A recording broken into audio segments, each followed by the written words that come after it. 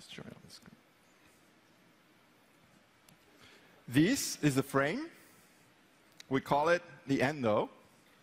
And these are modules. This is an applications processor. I just connected the battery. That's a speaker. And this is another speaker. I want my ARA in stereo today. Enabling all of this is uh, what we believe to be the first UniPro switch network. And uh, running it all is Greybus.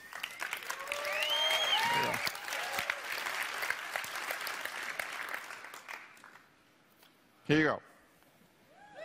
ARA.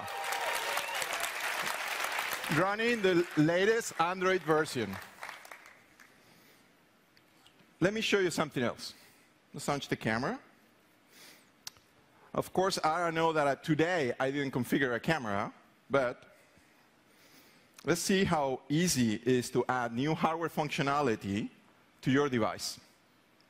This is a camera module. I connect it, and it's that simple. There you go.